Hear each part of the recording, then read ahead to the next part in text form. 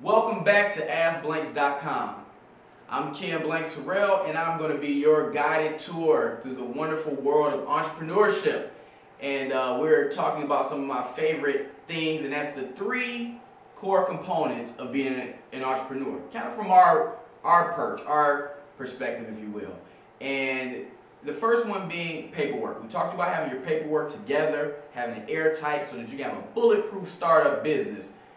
Number two, we talked about the differences between marketing and branding with a sprinkle of advertising. And we'll get into more details with that and the whole five elements of matter and that whole big thing is uh, coming up pretty soon. We'll talk about all that down the road. But we did touch on the marketing and branding.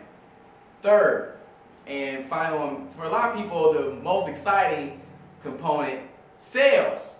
The money. People like to see the money, the sales. But you don't start there. Again, you have your paperwork tight first.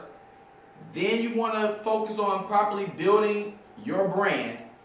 And then the money will follow. Money doesn't lead, it follows.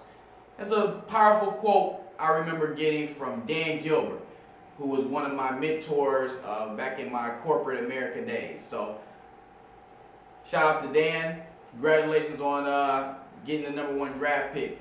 Again, who would have knew? So what I want to do is talk about sales.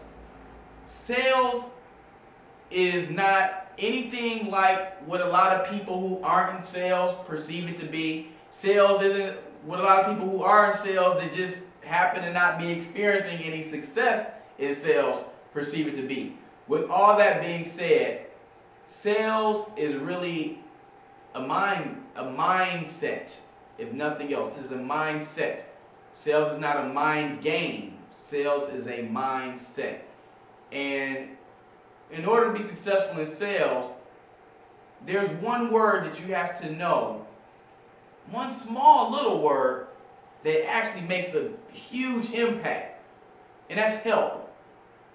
And in, in the world of sales, the person who helps the most people more often, more successfully, and helps friends of those people and friends of those friends of those people are the most successful people.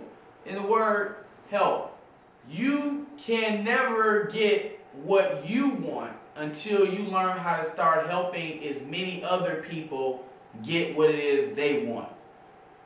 And in the world of sales, whatever that thing you're selling doesn't have to just be a product. You don't have to just sell cars. You don't have to just uh, like go door to door selling knives or uh, you don't have to be a vacuum, a vacuum cleaner salesperson or use appliance sales. It's not always about a tangible. Some people sell ideas. Some people sell concepts.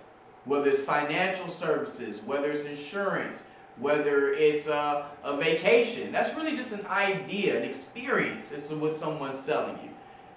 But what about the everyday, day-to-day -day sale? What about selling yourself to get that new job? How do you present yourself on paper, that resume? How do you open up doors and opportunities for yourself? How do you sell yourself? How are you perceived by your wardrobe? By the language you use, by the people you associate with. Sales is a mindset where you can transfer an emotion that is attached to a product or service to another person where they see the value in it and they're willing to compensate you in return. It's just a transfer of energy. If I'm convincing you right now that I'm excited to be right here doing this video, could it be genuine? Could it be a sale? It's genuine. It's a mindset. It's called confidence. And people love it. It's infectious. Catch some. You're tuned in to AskBlanks.com. If you want to learn more of all this good stuff, we got plenty of free videos here for you. We got ebooks. We got DVDs. We've got workbooks. We've got seminars, webinars, panel discussions, trainings, and more. We have it here if you really want it. Are you serious enough to be serious? Well, if you are, reach out to the experts and the teams here at www askblanks.com.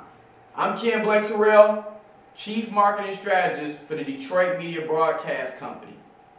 and I approve this message.